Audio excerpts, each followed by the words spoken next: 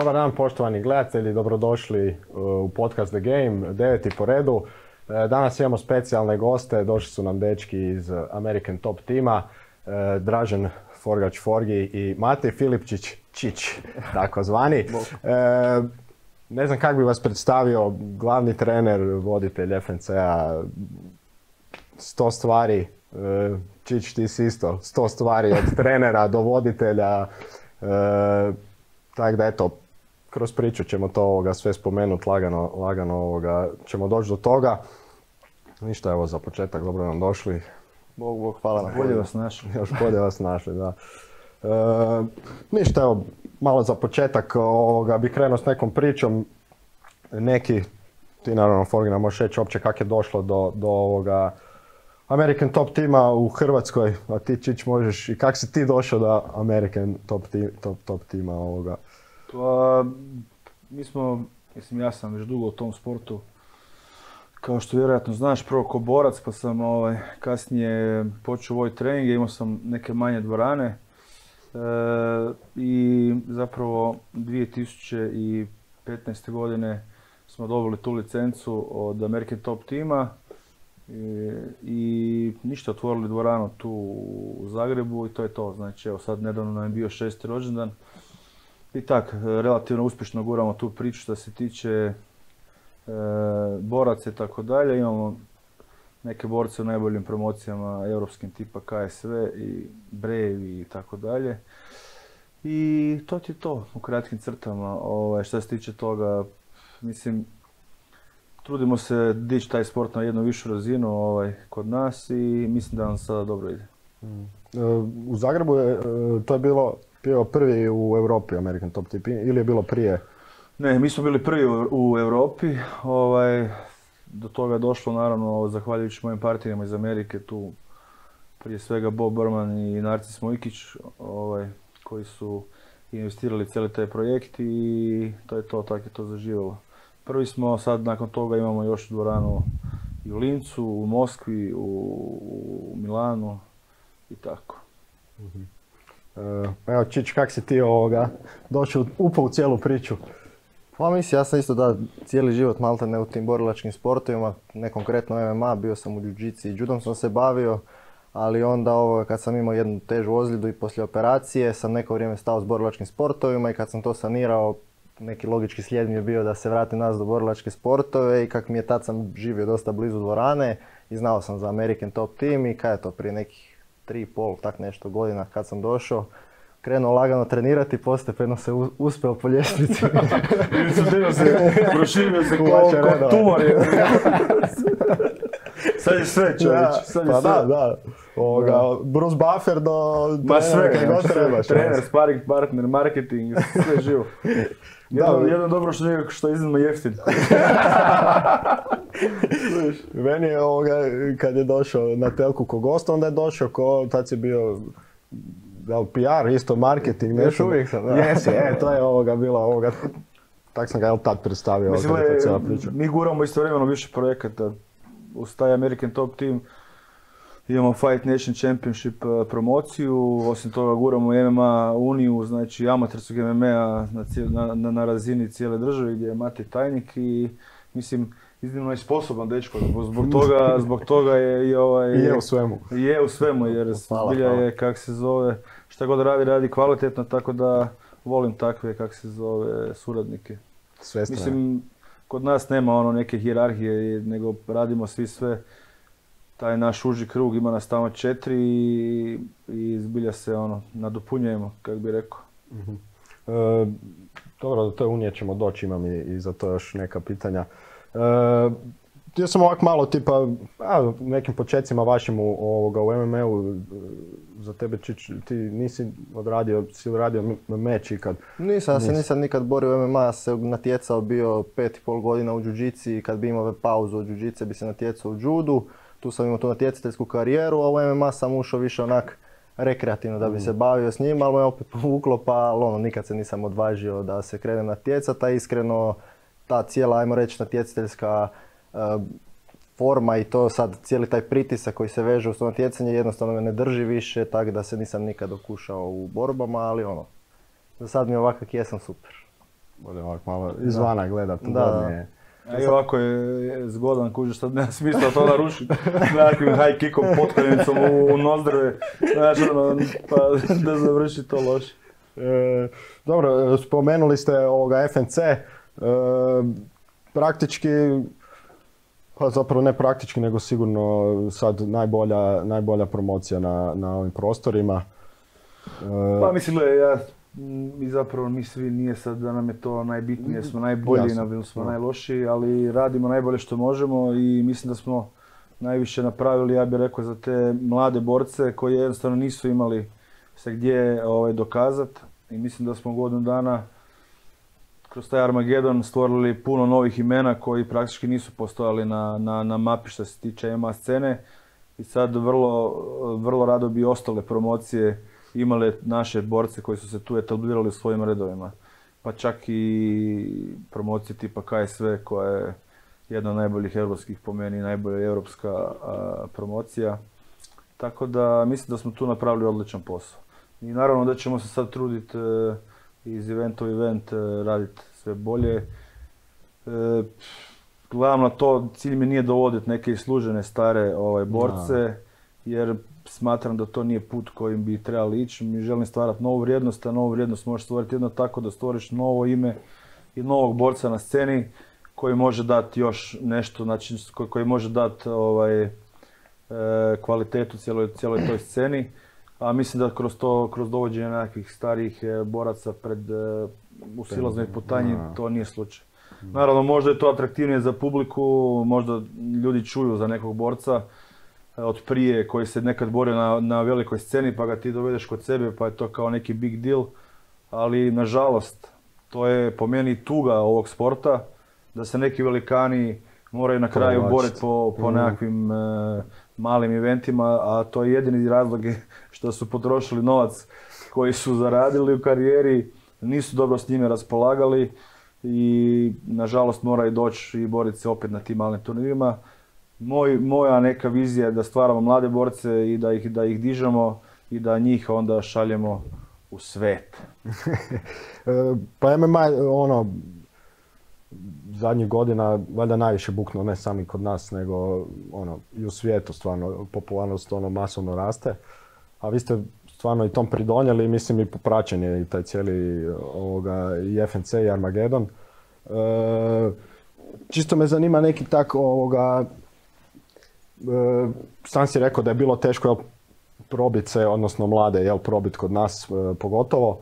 E, kak je nekako, a naravno opće znate, nekako gledište boraca na, na, na to sve, jel, da dobivaju priliku, jel, tu, odnosno ne moraju ići negdje van, šta ja znam, izborit se ići po Europi, Pa mislim, realno, gledaj, ti ne možeš ići van e, dok, opet nemaš do- dok se ne izgradiš neki skor. Mislim, eventualno možeš ići ko neki short notice i ko m, zapravo ono, da te bace tamo, da te pojedu lavovi, razumiješ? Ti moraš tu prvo dobiti iskustvo, izgraditi taj skor, ali ne samo skor, nego ti svakog meča dobiš iskustvo, svaki tvoj trening kamp te digne, digne kvalitetu.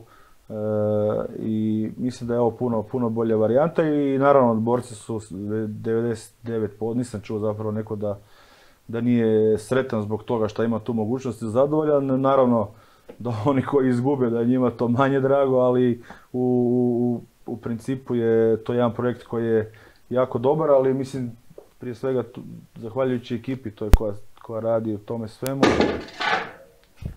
Na, na primjer, na primjer, naš Mate je tu odradio strašan posao.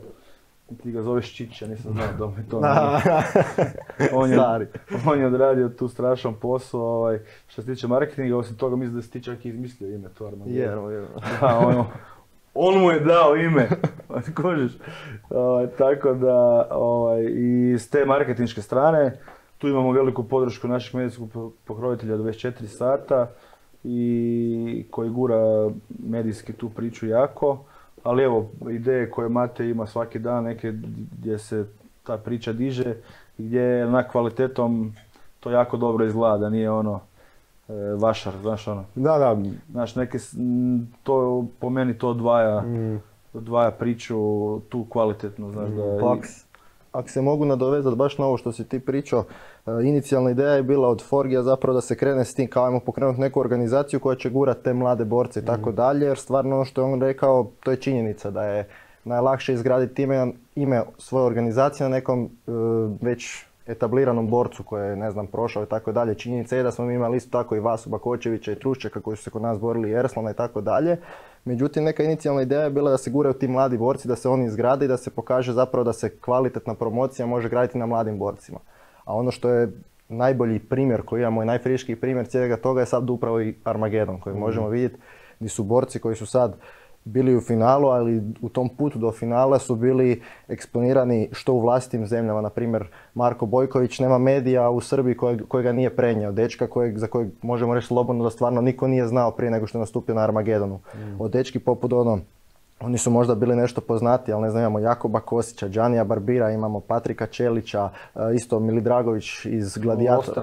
Ostanek, da, sad iz Ban tima, znači po svim medijima, Nova TV, 24 sata, RTL, koji nisu uopće zapravo naši mm. medijski pokrovitelji, osim 24 sata su htjeli imati priču o njima, htjeli su ih intervjuirati i to je recimo najljepše što je taj Armageddon dao. Dao je osam novih vrhunskih boraca koji su sad ono i poznati, evo između ostalog e, već su tri onoga, kak, e, već su neki borci nastupili u KSV-u ili će nastupiti u KSV-u vrlo skoro. Mm. Tako da mislim da je to ono najbolji dokaz kako, kako se iz jedne organizacije, ako se kvalitetno radi, ako se rade dobri mečevi, ako to nisu ono sad samo napumpavanje skorova svojim borcima, mislim da se može pokazati da je ono što, što ljudi zapravo žele, žele gledati dobre mečeve, da im nije bitno mm. toliko ko se bori. Mm. Istina, znači ogroman broj poruka sam dobio i, i na službene stranice i ja privatno taj dan je bio UFC, sad kaže gledali smo UFC, one uvodne borbe i Armageddon kaže zanimljivije nam je ovo gledat. Možda nije kvaliteta borbi ok, ali samim time ti se lakše povežeš tim koji je čovjek iz tvojeg grada ili iz tvojeg kvarta. Znaš, uvijek ljudi vole domaću pogledati mm. scenu. Znaš, i kad gledaš, recimo ja koji, evo recimo sam, ušto sam i u tom MMA, ja sam čak i, mislim čak, ja sam i fan, fan volim gledat borbe, ali opet, opet one neke uvodne borbe na ovaj, UFC-u, kako, kako se zove, me manje zanimaju. Mm. Znaš, ono, sad ti neki borci koji još se još nisu tamo dokazali, manje to ono pratim. Mm. Ali domaće, domaću scenu ću uvijek pogledat, znaš, to mi uvijek me zanima šta ima novo, kako se gdje radi i tak dalje. Tako da mislim da je to pun pogledat. A mm. drago mi isto zbog nekih e, dečki tipa Ostanek, koji je praktički se ostavio već e, MMR, nije vidio tu neku, neki potencijal, nemaš di nastupi, znaš, ne možeš, mm. jednostavno je prevelike prelaz iz te neke e, male razine i odjedanput moraš ići na e, KSV ili u Rusiju ili ovdje. Nisi imao taj neki prelaz, niti te neko, niko ne zna, niko te ne vidi, mm. niti te ne zove. Tako da, to mi je drago zbog njega, evo recimo, on je, on je to i sam rekao da ga je ovaj Armageddon E, vratio u sport i evo osvojio ga je, imao je prilog tamo na, u provjereno na Novoj TV, ono 12-13 minuta treba prilog. Mislim da je to velika stvar za takvog jednog dečka i pogotovo što je to lik koji je, M je pozitivac, M dečko radi napravno svaki dan. Ljudi, ljudi vide da, da, da su to dečki koji se trude i koji imaju neki san i mm. tako da je to dobro bilo i za, i za cijelu promociju i za cijeli taj sport, da ljudi vide da su tu dečki koji, koji se bore kroz život, da nisu to nekakvi ono, znaš, glumci ono, ili, ili, ili, ili, ili, ono. Pa i Bažan nastupio na KSV-u recimo prije finala i su je, da, recimo taj uh, dečko Bažant iz Pule, on je dobio priliku nastupiti na KSV-u čak i prije nego što je osvojio Armagedon, jer je bila priča da će, da će pobjednik Armagedona jedan od dobiti ovaj, ugovor s KSV-om, međutim on je, on je nastupio prije finala. Tako da, tako da je to super i uskoro mislim da ćemo sutra u Pekistra objaviti još veliku vijest oko ovaj e, oko toga tko je još potpisao za sve tako da je projekt je s te strane više nego, nego uspješan. Znači mm. napravili smo ne jednog KSV borca nego, mm. nego njih dva ili više. Mm Pa ali isto je dobro utjecalo na poslije, poslije Armagedona, evo sad mi pripremamo, najavili smo službeno, e, ne dam, prije dva dana smo najavili Armagedon 2, 26.6. bi trebao biti prvi event. Znači mi smo zatrpani sa prijavama, ali doslovno mm. zatrpani. E, I to je samo, mi smo mislili ono prvi Armagedon, kao kako smo to najavljivali, bit će veliki turnir, ovo ono. To nam je bilo jasno, ono, neće biti toliko puno prijava, niko još ne zna za to. Sada mi smo doslovno zatrpani, a imamo dve mm. kategorije više. Mm. Tako da Forgija čeka Isto Puno opet posla. puno, puno nespro- neprospavanih noći dok, dok posložite kartice. Da, uglavnom, evo, mislim da je s te strane da je odrađen dobar posao. za kotrlja. Da, baš sam ti reći ovo, kad si rekao da vole ljudi is- ispratiti ovoga, ono, domaće dečke, mi smo doslovno, u Birti je nas 20 bilo, gledali smo to na platno, ono, Da sad zamisli, sad zamisli koja je to zapravo realna brojka. Da- Tamo je, bil, tamo je, tamo se u toku prijenosa 99 ili 100, 99.500 koliko je bilo. 99.500. je bilo, A a, uređaja se uključilo u toku prijenosa. I sad zamisli koliko je to broj, broj, vas je bilo 20, tamo 10, tamo 5.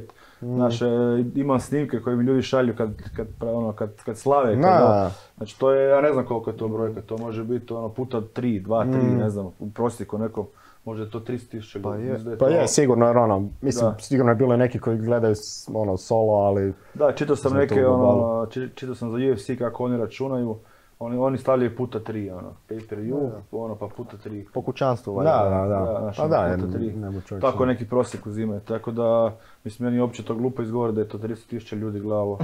Znaš, ono, 300 tisuća ljudi da je Da, gledalo u, u live-u, dečke koje praktički, to sam napisao, praktički su ih znali samo oni iz ulaza u zgradu Da, ili iz da. ulice, znaš, ono.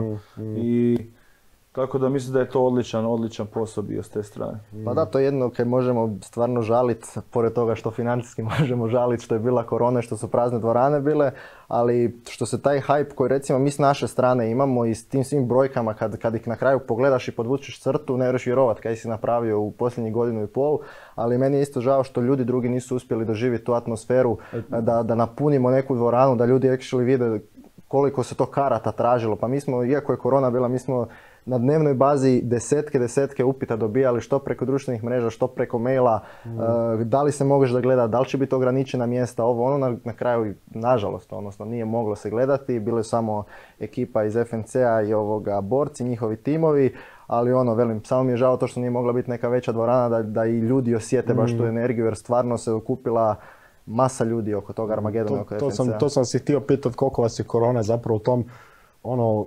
usporila, koliko bi to još e, zapravo Nije nas, je, nije nas toliko usporila koliko nas je is, isisala fi- financijski. Znači, jer, troškovi su ti isti. Mm, Znači, nagradni A fond, nagradni fond, Mislim, nikakve. nagradni fond za borce je isti. mm, E, to, ti, to ti 50.000 eura otprilike samo to. Ne, neko, je, neko je komentirao kao da nije niko dobio, pa nije, nije ni bio cilj da ne, jedan borac dobio 50.000 eura, to bi bilo absurdno Da. da neki klinac sa dva veća dobije 50.000 eura, pa to, pa to ne, to ne dobiju, to ne dobiju ovi u UFC-u. Da. Nego taj nagradni fond je isti, ti imaš taj broj boraca i sad kad zbrojiš od, eh, od, od prvog kola, drugog kola, polufinale i finale, to je taj fond, razumiješ, i to ti isto ostalo. E, praktički e, produkcijski je sve isto, najave su sve, znači ti imaš cijelu tu, cijelu tu mašineriju, imaš istu, a nemaš publike. Ona FNC3 koji smo preselili iz sa Zrča, To je bio financijski najnezahtjevniji, jel tako? da, da, da, da, da. Sa, to sa Fight Islanda smo, sa Zrča smo selili sve u dva dana. Tu, ali tamo smo još imali određeni broj publike i ono, atmosfera je bila ono, To je čudo. šteta. Da, ono kad je bio je je Truščik je i. Vaso. mm. Taj BMF e, pojas, to si mi isto ti izmislio da, da može, da ćemo... Ne, to je tvoja ideja bila. Moja? BMF, da, da. BMF Balkan. To mi je bilo taj dan. je. pa zamisli. Ne mogu preuzeti zasluge. I ja sam se nečeg sjetio.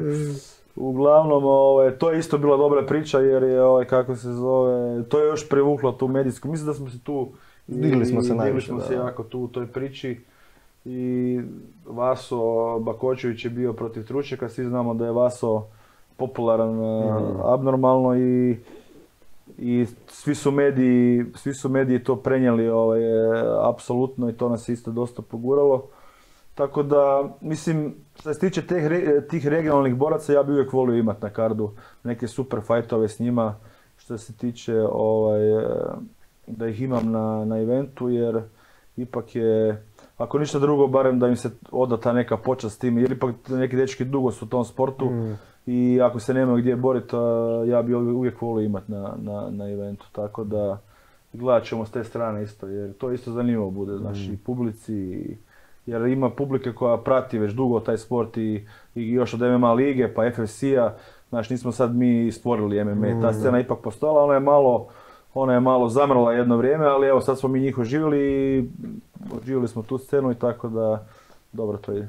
Prije, prije koliko je krenula ta MMA liga? To, si, to je u, u West, Westgateu tamo Pa bilo, to ti je, jel da? mislim da je prvi event bio 2011. 12. Ja. tak nešto ono, u Westgateu. Prvi, E, onaj, tako. prvi je bio u, u, u garaži ili dole u podrumu. Da. a onda su preselili gore, Gore. na kat, one, Mm. ovaj, Ja sam sa, sa starim bio kad je e, Sale, Drobac i Tadija kad su se borili. To je bio nama kvartovski event isto. to čak su u Ciboni, ja To je u. Ciboni bilo. To u Je, Ciboni je, bilo? da, to je u to je Ciboni, sale to u sam Ciboni, je, je. Viš kako sam to zaključio skroz. Koje je to Je. vojne bilo čovječ? To je Onda sam- To ti je bilo 2013. godine. Is- Bože. 2013. znam, po tome sam te godine ja imao zadnji meč protiv Monstona, a te godine ja znam da sam Jakoba, Jakoba sam zezao da, da je dugo se nije bio borio, kužeš, od, od, od 2013. njemu je bio tad isto taj zadnji meč te godine protiv Dropca. ovaj.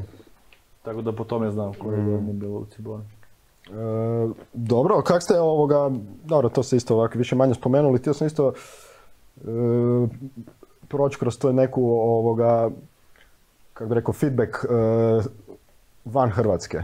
Mislim, rekao si, dovoljan feedback je to što se Pa da ono, Marko kaj sve. to može više one prati Da. te statistike. No. Pa mislim, kad smo Dovoljan feedback, u principu to sam ti reći, jel šta je, kaj sve to ono, sve popratio što sad idu i, Da. i, i borci vaši tamo i to. Ali ono, kak, je, kak su nekak, e, ajmo reći, okolne zemlje na to reagira- rea- reagirale?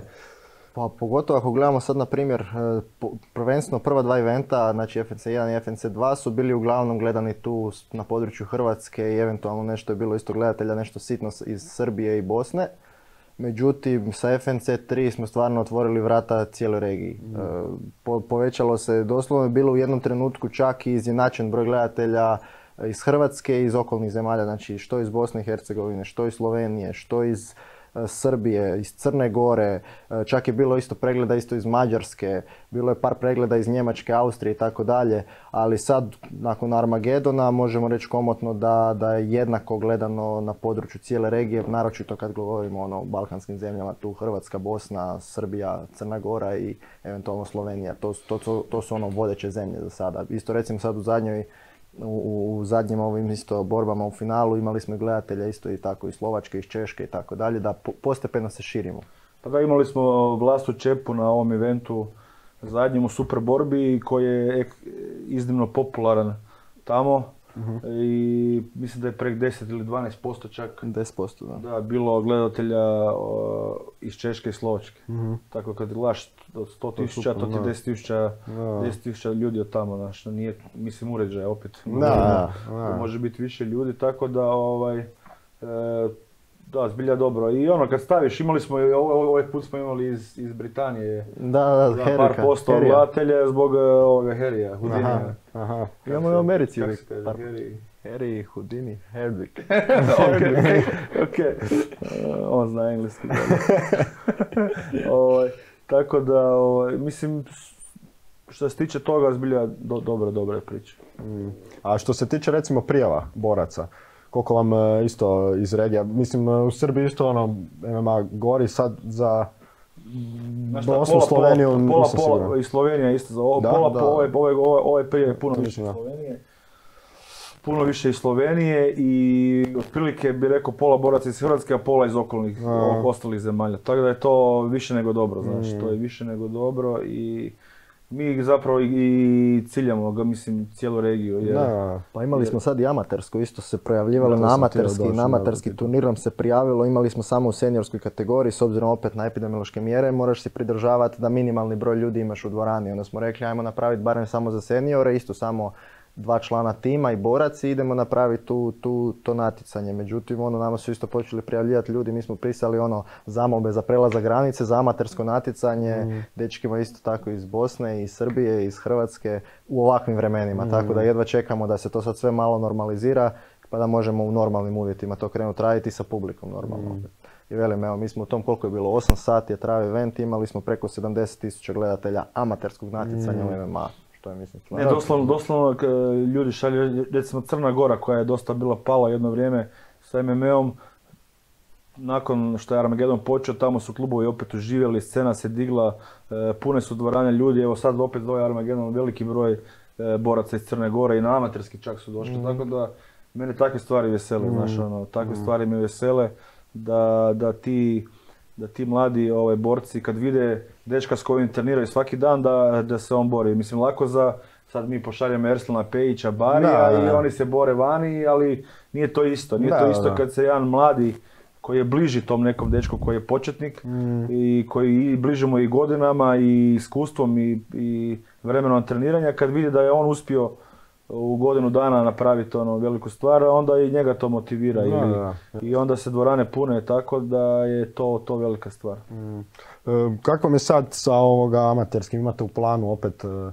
pošto je bila tak, bio takav odaziv, mislim, da li imate sad? tajnika tu, je malo. Tajnik, šta kaže tajnik? Ovoga, pa nama je normalno u planu taj amaterski radit e, što češće. Jel bi htjeli stvarno imati, jel hrpa, dosta boraca koji su se nastupali na amaterskima su ušli već i prijavili se na novi Armagedon. Dio njih, ali i dosta njih se gledaju već da bi se ubacilo potencijalno nekakav, da budu ili spremni kao zamjena za nekakav meč u FNC-u kad ćemo organizirati baš nekakav, nekakav meč, zato što stvarno pokazalo se iznimno, iznimno puno dobrih boraca koji su vjerojatno isto, isto tako koji većina ljudi čekali neku veću, veću platf- ono, platformu na kojoj se mogu prezentirati ljudima, a di ćeš bolje nego kad te gleda recimo 50.000 ljudi di si ti već u amaterskim vodama možeš tako prezentirati.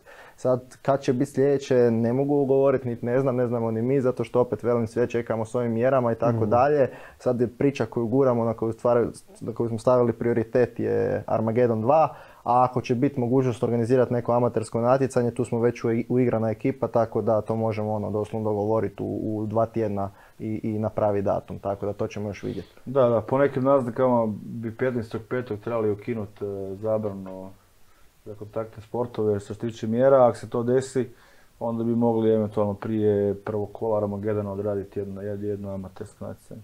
Mislim, ja kad, kad gledam prijave za Armagedon, naravno da, da ću prije, prije ću uzeti borce koji su nastupili na amaterskim i koje smo vidjeli Da. svi Da. e, kvalitetu, nego neko ko Nisi nikad- nisam vidio kako, kako radi. Tako da, po meni je ovo dobra stvar što radimo amatersko, odmah nakon toga imaš Armageddon i nakon toga FNC sam, tako da su to neke stepenice koje te dižu, dižu gore, jer ovo nema smisla preskakati stvar. Teško da ćeš u Armageddonu napraviti rezultat tako na amaterskom nisi skupio dovoljno iskustva, a pogotovo ne na FNC super fightovima gdje su već ozbiljni protivnici i što se je vidjelo na ovom, na ovom finalu Armagedona kad su etablirani borci i kvalitetni borci doživjeli ovaj poraze tipa Karlo Caput koji je KSV borac pa je, pa je doživio poraz na FNC-u, znači neće više biti laganih mečeva za nikoga.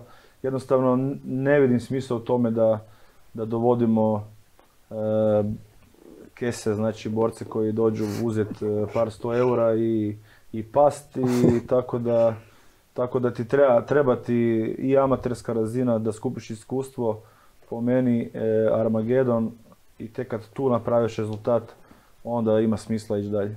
Pa ako se mogu nadovezati isto e, za, za amaterska natjecanja, dosta ljudi mogli bi se reći da podcjenjuju amaterske borbe. Jer možda baš zato što nisu imali priliku gledat nikad meč tak ili, im se nije Pa dalo da. ići u dvoranu gledati ili tak nešto, ali meni kad se sviđa u amaterskim, mi smo, mi smo doslovno ostali ono, ne reši vjerovat kakav meč ti pruže dva amaterska borca, baš zato što nema nikakvog kalkuliranja. On je Mm, došao tu, se došao ne zanima ga novac, ne zanima ga Da. ništa, došao se tu dokazat nama, do, do- svojim trenerima, Bilo gledateljima, i ono, on ide na nož, ide glavom kroz zid ako treba. Znači to su svjetske borbe bile na tim amaterskim E, mogu, natjecanjima. mogu reći da zbilja ono što sam vidio Ovo je mali Erik Pletikos kad je došao. Je, je. Kako se tuko, dečko. Erik Prvi turnir. Pletikos, e, Erik Pletikos čovječe, tri meča, tri meča, ne, ne moraš Slomi se... u šaku, dečko. Je. Da, da, bilo Strašno. je, bilo je zbilja dobrih, kako se zove, mečeva. Da, na, oni na nož idu. Ono, Tako da, tako da, i to im je veliko iskustvo, stari, Mm. to im je veliko iskustvo i što više amaterskih mečeva po meni prije, prije nekakve karijere, ne, nekakve profi karijere, to bolje. Znači što više da, da skupiš. Pa to je, mislim, e, kad smo i pričali o ovoj MMA ligi, je i to tad nešto bilo popraćeno, ali e, realno ono, za amatera, šta ti znači kad te gleda ono 70.000 ljudi, znači taj, Mhm. to je isto ono pritisak, ne, naučiš se i s tim nekim stvarima nositi. Pa ono, da, tako pogotovo to- što kod nas kad dođu ovi sad u Armagedonu su imali Imali su ovaj, tretman ko da su na, na najboljim promocijama. Znači imaš Mm. presicu finale Armagedona koja je bila brutalna. Znači ja sam, nisam mogao vjerovati kako to sve izgleda. To moramo isto Martin, zahvaliti. Martinu našem i ekipi e, produkcijska koja je odradila posao čudo. Znači ti kad ono gledaš nemaš vjerovati da je to dvorana, da je to u našoj dvorani, znaš, to su odradili vrhunski ono vaganje, e, mediji, e, intervjui, znaš, to sve tim mladim dečkima daje iskustvo ogromno nego ono prije mi kad smo znali, boriš se u Samoboru, e, u školskoj dvorani, e, ono košovi su sa strane, možeš zabiti koš iz ringa i onda iduća scena, boriš se protiv Monsona ono, u Ženevi, Znaš ono, prije toga televizije, da, kamere, ovo, da, zoom, da. znaš, nemaš ti taj prelaz ili na M1 kad smo Mm. išli. Tako da je ovo, ovo je kako se zove, velika stvar za njih da uopće osjeti kako to sve Mm. izgleda tamo jer, jer e, prije to nisi imao priliku, znaš, prije je to bilo sve ono, huha. Da, da, trlo znaš, balan, da. Tako da je ovo, ovo je odlično za njih. Ali taj Martin i ekipa, oni su produkcijsko čudo, doslovno. Taj Martin onak na, postavi tu scenu, sve nama pokaže, mi dođemo u dvoranu, tebi oči ispadnu, kako to izgleda, ne možeš vjerovati, a pitaš njega, Martin, kaj si zadovoljan? Pa, pa dobro je, dobro je. Nije loše. Nije loše.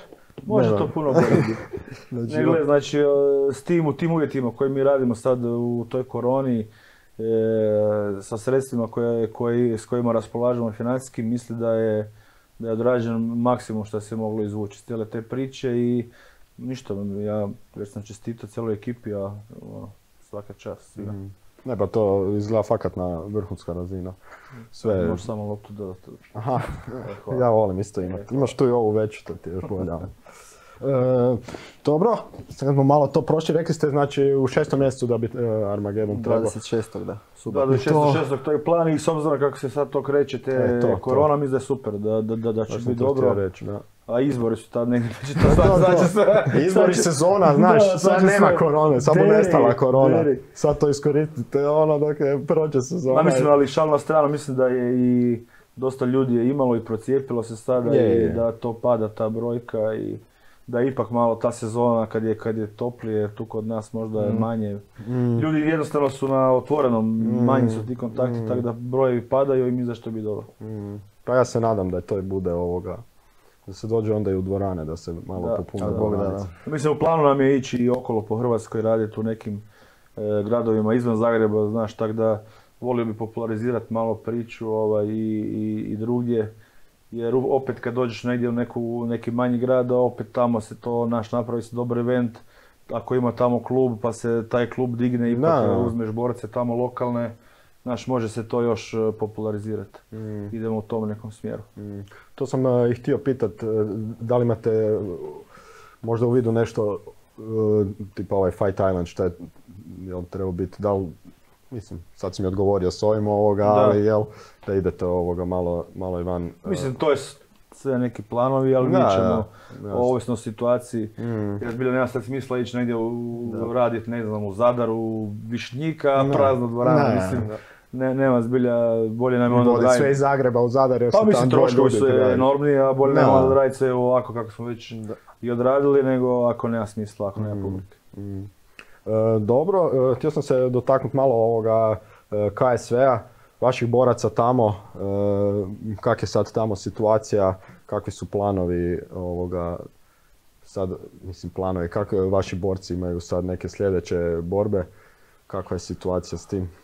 Pa, ovaj, pa sljedeće, sljedeće se bore Pejić i Erslan, ovaj, on, to je prva, prva stvar koju imamo sad za dalje. Kažem, e, potpisat će još neki dečki iz Armagedona ugovor sa KSV-om, e, ne mogu još previše sad se pričat, ali evo to je neke, neki plan.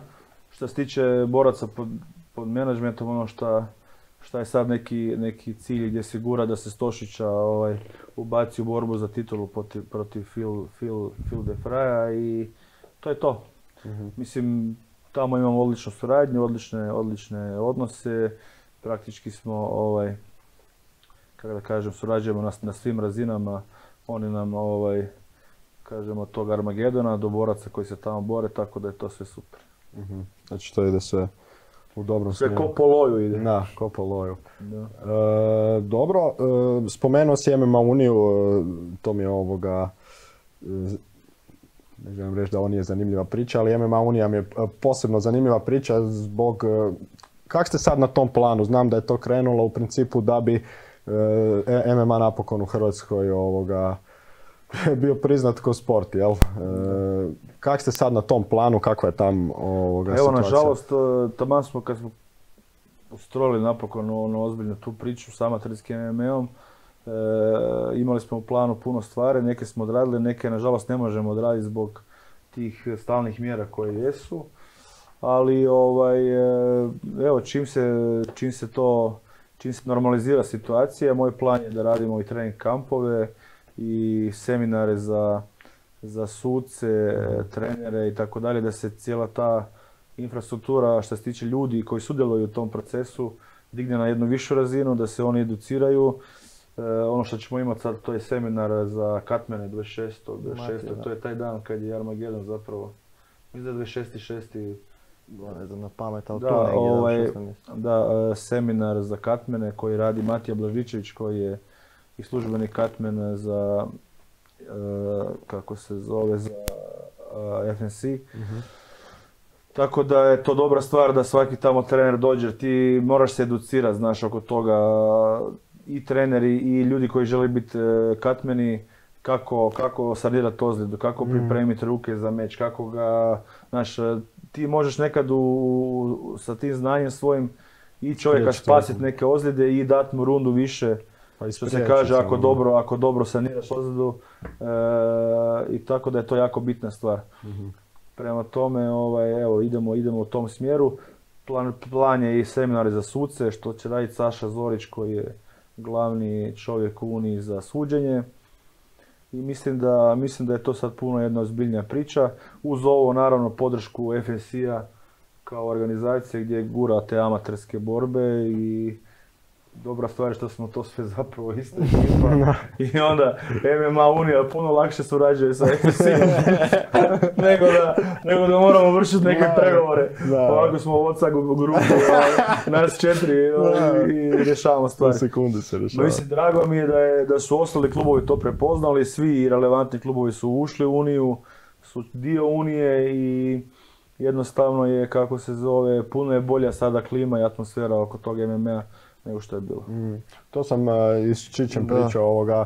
E, Baš što se tiče Katmena i sudaca, mene recimo zanimalo ono kako su prije kod nas, znaš, di se uopće možeš ono školovat za to, jel? Deć- Dečki su se uglavnom ili ono medicina, pa onda je recimo Matija, on se po vani, ko po išao isto tako po seminarima i tam se školuješ, jer on je baš isto i objašnjavao da nije katmen sad, ne znam, ti si medicinski brat ili tak dalje i sad ideš, ne znam, a, znaš zašit ranu i ti sad možeš biti katmen. Nije Da, to, nego to se, on je isto objašnjavao, to ima cijeli proces kak se koja ozljeda, kak se koja porezotina sanira i baš to kaj je Forgi rekao, to je vrlo bitno jer taj čovjek tebi može možda donijeti pobjedu u meču zato što ti produži, dobro ti sanira ozljedu i pruži ti rundu više u kojoj ti nokautiraš svog protivnika, tak dalje. Tako da mislim da je to jako dobra stvar kad je on pokrenuo taj seminar. Da, zapravo dolazi ovaj Austrijanac Ronald. Kad je sa Stićem radio. Da, da, da, on uh, jedan od najboljih europskih, možda najbolji lik je radio, ima i, i sa Stićom je surađivo. E, tako da on dolazi zapravo držati seminara, Matija mu naravno, Matija organizira kao naš tu predstavnik. Tako da je to odlično, znači ko želi se i baviti time ili je trener, ti moraš znati, ako ne i za trening, znaš, kad se na treningu desi neka stvar da znaš čovjeku pomoć i tako da je to jako, jako bitno. Da, nije, nije bilo nikakve prilike ono tu naučiti, jel? E, zanimljivo je isto recimo... Da, da, kad si već pitao kako, je prije bilo, recimo FFC je koristio ovaj, Hrvoje, Hrvoje, on je, on je medicinski tehničar, radi hitno je tamo, on je, zna to sanirati, ali jednostavno nije po meni to ta kad se ti baš e, specijaliziraš za tu stvar, onda je to, onda je to, onda je to puno bolja varijanta, ali definitivno radilo se najbolje što se znalo i moglo, znaš, sa resursima koje imaš, jer rijetko ko si može priuštiti svaki put da dolazi ili taj e, Ronald ili neko da dolazi, Mm. em, trebaš platiti kartu, put, Put, smještaj, da. novac, znaš, nije to, Da. neće on doći za 300 Kikiriki, kuna, to znaš. Mislim, dobra stvar isto za sve ljude koji se zainteresiraju, što će se, ja mislim, tamo ako sam dobro shvatio, da će, da će se dobijati određeni certifikati, tako da će ljudi koji će biti na tom seminaru, koji položit će dobiti određeni certifikat baš od njega, da mogu raditi taj posao. Tako da to je super stvar za Pa sve ne, one koji se hoće pridružiti. Upravo to i plan je, plan je da se po- posloži stvar na način da ne možeš raditi event Bez ako, ti, ako nemaš tu priču. Mm, Ili možeš ti, ne može ti niko zabraniti, nažalost, ali, ali se možemo kao Unija ugraditi od toga jer nemaš službenog e, nemaš službenog katmena koji je licenciran, nemaš suca, ali koji je Da. licenciran, nema jednostavno tvoj event, e, ti samim time da se ne daj Bože desi neki problem na tom eventu, mi FNC uvijek im imamo i katmene koji znaju šta rade, imamo i hitnu pomoć, e, kola hitne pomoći ispred dvorane, ljude koji znaju dati pomoć ako će, jer ipak je ovo kontaktni sport. Mislim, Jasno, da. n- nije sad stvar da je to nešto specijalno, da. to moraš imati na motokrosu, ne znam di ma moraš imati. A ljudi rade kod nas evente, pa ja znam kad se ja borio, ma kakve, ma nema. Sloviš nogu, sloviš nogu, onda, ej, jel zna neko di su kakva nosila, ne može čovjek hodat. Ono, leži tamo u slačioni, ono, ono. Mislim, Pa da, tako pa je bilo, nažalost, Da, je, taj, da. tako je bila priča, ali ako želimo, ako želimo svi zajedno dići to na neki nivo, onda moraš imati... U svim segmentima treba. U ostalom da kad se desi problem da imaš, da imaš pokriveno, da šta ćeš reći, znači koja je odgovorna osoba, šta ćeš ti reći, ko je bio, jel bio, e, jel bio neko ko zna pružiti pomoć, jel bila hitna, jel bilo ovo, znači moraš imati neke stvari, ko je sudio, jel, jel, jel prekinuo na vrijeme, jel taj licenciran, jel znaš ono, tu ljudi olako ulaze u tu Je, je. priču, a može nastati milion problema.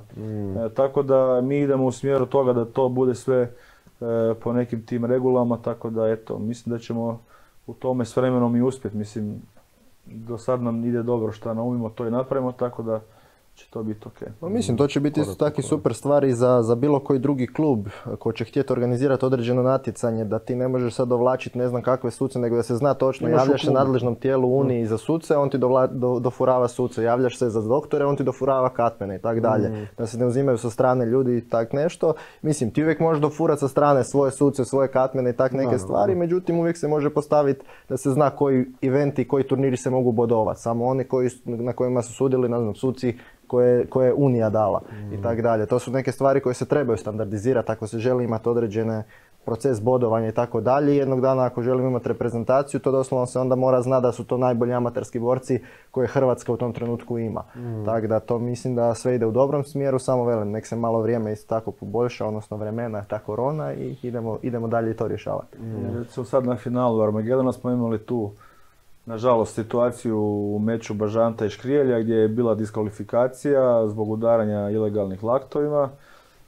Sudac je prekinuo meč, konzultirao se sa supervizorom Velja Mledenov koji je po meni najbolji sudac u regiji daleko, e, najiskusniji koji sudi mečeve na ne znam ACA i okolo na najvećim turnirima u Europi, KSV u Zagrebu i tako dalje, koji koji jednostavno je bio kod nas supervizor na finalu, koji jednostavno naj, najmirnije, najstaloženije obišao od suca do suca, popričao, popričao sa sucem i rekao svoj sud i to je to. Nema tu sad, znaš ono, prije na, Stresa, na, na eventima, ja znam kad je bilo FFC, FFC u Zadru se borio se ovaj, kako se zove, Banov, onaj Mijatović, eh, se borio protiv, eh, ne mogu se sad sjetiti s kim je radio, Lukačić.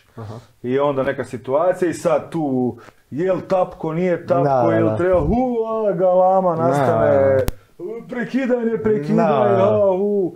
To je cirkus bere. nastane stari. Znači nastane cirkus, ovdje je vrlo jednostavno, čovjek je to odradio vrlo kulturno. Nakon toga e, je Zelg imao neku pritužbu, ovaj, ovaj je poslao snimku meča e, na tri UFC suca, svi su re- rekli isto. Jednostavno nemaš tu više šta prostora. Da, da, da, nema- Znaš, jednostavno čovjek, nema ima, rasprave, čovjek ono. ima kontakte vani, znaš, jednostavno on, ti, on te dovede tamo gdje nemaš više šta reći. Sad šta ti reći? Tri UFC suca kažu jedno i sad ćemo mi pisati na naš ono mija. Ne, ne Da. možeš, jednostavno mora biti neki red, razumiješ? I nema mjesta ono za prigovore bilo Mislim, kakve. iz- možemo mi, iz možemo mi, možemo mi, kako se zove, navijat za ovog ili za onog ili. Znači, recimo u toj konkretnoj situaciji, to kako se zove, niti nama kao organizaciji, niti borcima, niti tre- znači, nikome nije, nije, nije drago zbog toga. A jednostavno ti u tom trenutku moraš donijeti ono što je ispravno, znači jednostavno takva je stvar. I zato da bi držali neki nivo, kako se zove, cijele te priče, moraš imati to. I ja sam rekao prvi da ja ne želim na svojem eventu uopće ima dotica s tim, niti ja utjecat na, jer znam, dugo sam u tom sportu znam pogotovo kad radiš e, ti event, pa onda kako se gleda za domaće borce, koliko se to nateže, suci ne smiju suditi jer neće dobiti lovu ili će dobiti batina, znaš ono, to, je ono što te, šta te, šta te pokopa ko organizaciju, ti moraš na to baš paziti. Tako da, ovaj, ono što mene zanima su dobri mečevi, a one ko, ko zaslužuje pobjedu neka pobjedi i jedino to te može dići e, kvaliteta borbi. A to što ćeš ti izgurat lažno nekakve skorove svojim borcima koji će na prvom kad dođu na ozbiljne dva, tri meča izgubiti dvije, tri Da, borbe i opet su nigdje. gotovo, da. Jednostavno skor, skor bez kvalitete ne znači ništa. To mora ljudi shvatiti i kad to shvate bit će svima bolje. Znaš, najlakše je napucat borcu u dvije godine 10-0, Da, ali bez podloge u kvaliteti i- on ima šanse kog glineni golup, ono, pošalješ ga van i to je to, bacio si ga pod, pod kotače, kaže. Pa tu se vraćamo opet na početku ono kaj smo i rekli zapravo da kvaliteta boraca bez kvalitete borbi apsolutno ništa ne znači. Samo kvaliteta borbi, to je jedno što probija organizaciju, to je ono što ljude zanima.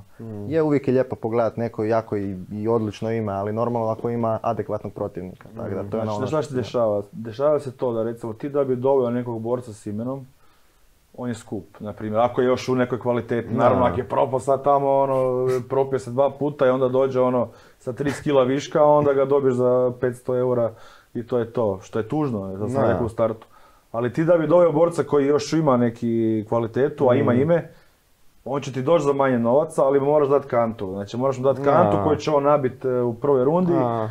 ali to je onda mi smeći. I onda Da. ti, i onda publika je zapravo, po meni je to prevara publike, jer Je, ti onda da. dobiješ, ti dobiješ ono, tri mis meča gdje publike ne vidi zapravo ništa. Ono, Da, vidi, vidi kak je, kak je ovaj ušao u ring i sad šta, vidi. Mm. smo, ne znam, nekog borca, zapravo nisi vidio ništa. Da. Znaš, tako da ti da bi, da bi napravio, da bi doveo borca i da bi taj meč imao smisla, moraš mu dovesti protivnika, a onda to sve košta ko- što niko ne može ovaj, e, realno platiti. Ovaj. Tako da, osim naravno velikih organizacija ko- koje, koje mogu. Jasno. E, znaš kaj me zanima, ovako, često si sad spomenuo e, kroz priču te svoje borbe, to koliko ti je pomoglo to kaj si se e, ti borio po tim svakakvim nekakvim ono, e, turnirima po Hrvatskoj da zapravo shvatiš šta, šta treba, jel? Da to liči na nešto, ovo i šta si rekao, i što Pa se ja tiče sudaca ja i svega. e, šta se tiče borbi, ti kad si borac, ti si glu, mislim, u tom smislu, ti, ti A ne pratiš, ono, ne, ne gledaš, ne, obratiš zanima te, ne pozornost, zanima da, te, ono, da. ok, vidiš ti, ali nije ti to toliko bitno, Da. znaš, ali kad sam počeo kod trener, e, to mi je pomoglo pu- puno više, jer, e, jer onda vidiš taj odnos, kužiš, kad da li je, da li se neko brine o tebi, da li ga je briga kako ćeš ti doći s aerodroma do hotela, da li ga je briga da, da li imaš šta jest, da li si dobio lovu za klopu, da, da li imaš, znaš ono, jer je bilo situacija kad ono, dođemo negdje pa čekaš tamo na aerodromu dva sata, pa dođeš u hotel pa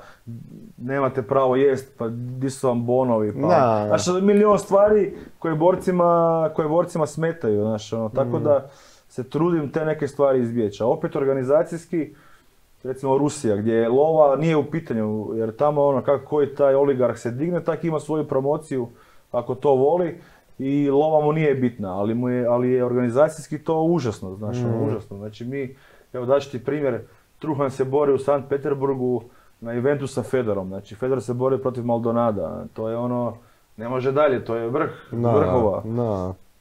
Znači, mi u hotelu blizu dvorane, zapravo možeš pješice doći jer je povezano. Niko nas nije provjerio, da li smo mi u Došli, hotelu, da li smo došli u slačionu, kad mi moramo se spremiti, kad mi, jednostavno mi smo sami, sami gledali, ovi su se pojavili, ono, pet minuta prije meča, a, spremni ste kao, idemo.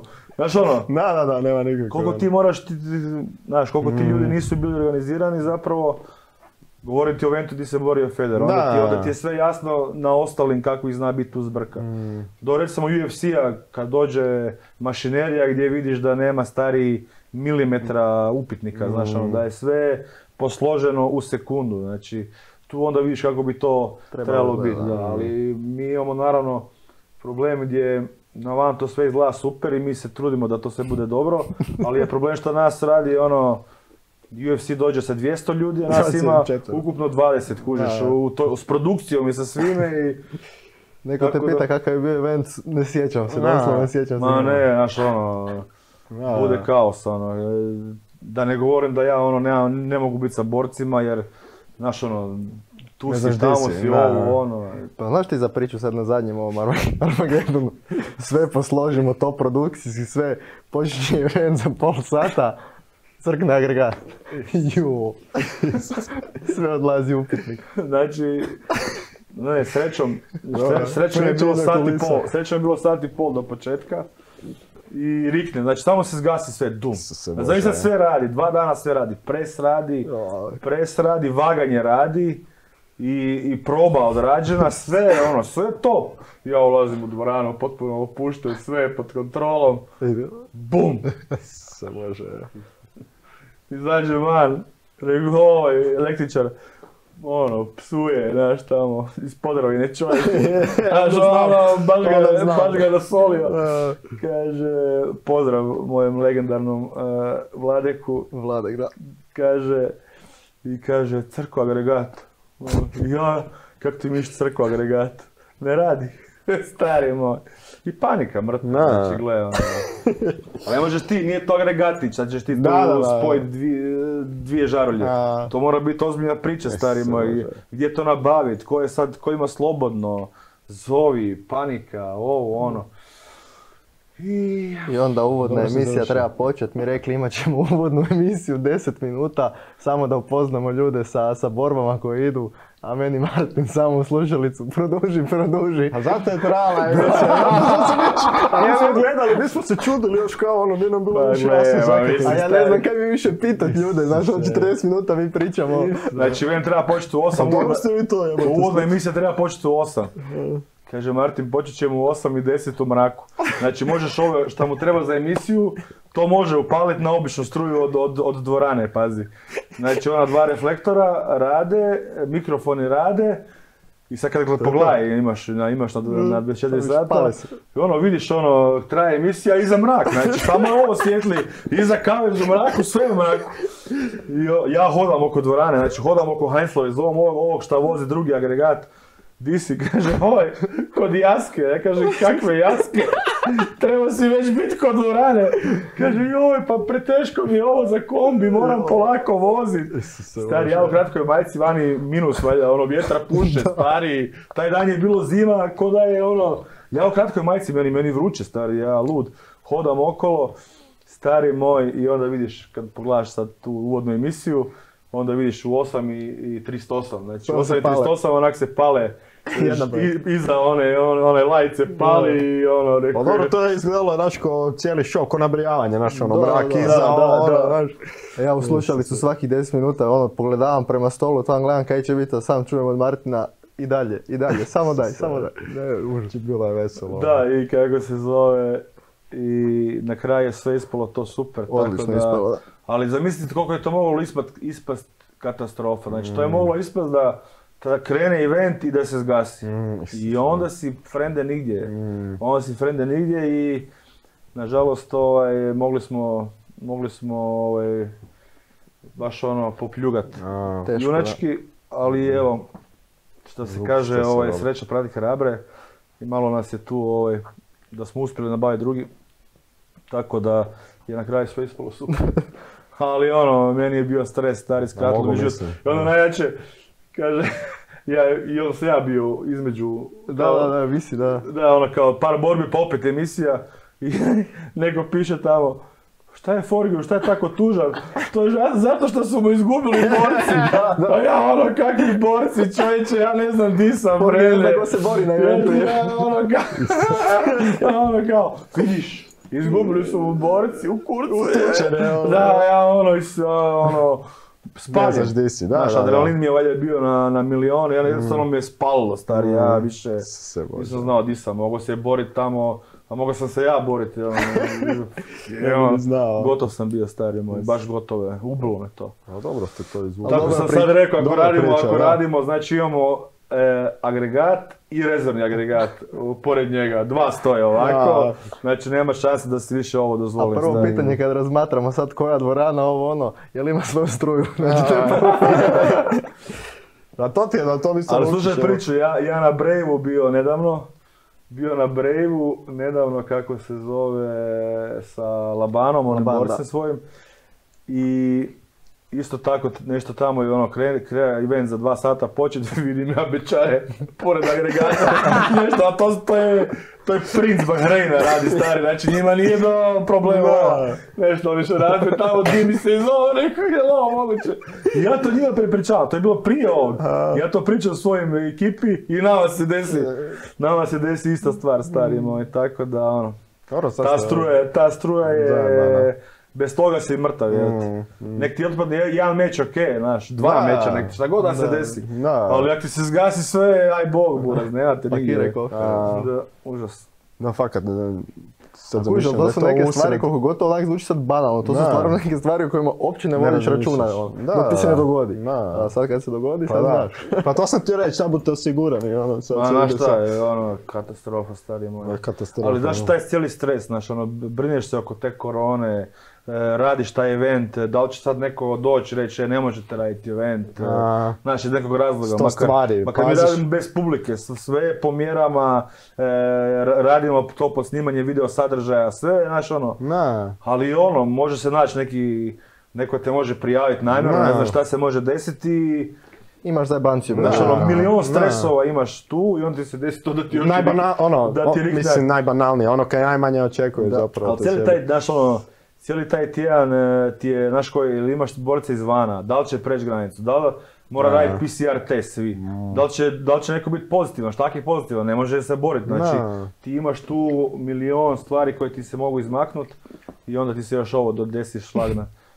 Na tortu. Ko je pričao to event? Ti si pričao za event industriju. ono Da, da, da, je to jedno naj, najstresnijih, da je to ono dokazano jedna od najstresnijih stresnijih industrija, ali svi svaki posao ima određeni, mislim što i je činjenica, ti kad malo razmišljaš, svaki posao ima određeni, na primjer pripremaš neki projekt ili nešto, stres je dok ga ne pripremiš, kad ga pripremiš to je to, a tu je tek kad si Cijelo došao vrijeme do eventa, e, tu ti tek kreće najveći stres, jer to ono, stvarno je tisuću stvari, evo pa evo doslovno to finale, koliko to sve izgleda sve super, evo ja se doslovno onak pol borbi nisam stigao pogledati koliko ti moraš nekih stvari između odrađivati da to sve funkcionira kak spada, jer Ne stvarno... samo to, da, da, to što je on rekao, da tebi se desi us- usred e, toga da kad se ta struja zgasi, onda se tu dosta stvari, e, kako kaže, ne pokvari, nego se izmakne, znači nije više to ista priča. I onda kad ti to ponovo spojiš, opet bi trebalo probu napraviti, Da, da, tona, da, lajta, da. a ti više nemaš vremena, znači ti već, tebi već ide uvodna emisija, onda on mora ući u kavez, ne čuje slušalicu, e, znaš ono, priča na mikrofon, kasni mu zvuk 2-3 sekunde, Da. jer nisi stigao jer se to Da, desilo. Na sreću to sve na van izgleda, stari, to ne vidiš ti te stvari. Da. Ali on meni dođe, on izađe iz kaveza, kaže ja, ja Ne čujem se. kasni mi zvuk, kasni mi naš ovo, Pa evo, ono. sad prva borba, evo, ako pogleda, možeš pogledati na YouTube, recimo sa Čepo se borio prvi, kak nismo imali priliku test napraviti, a treba se uskladiti mikrofon sa zvukom koji ide van, sa zvukom koji ide u dvorani i tako dalje.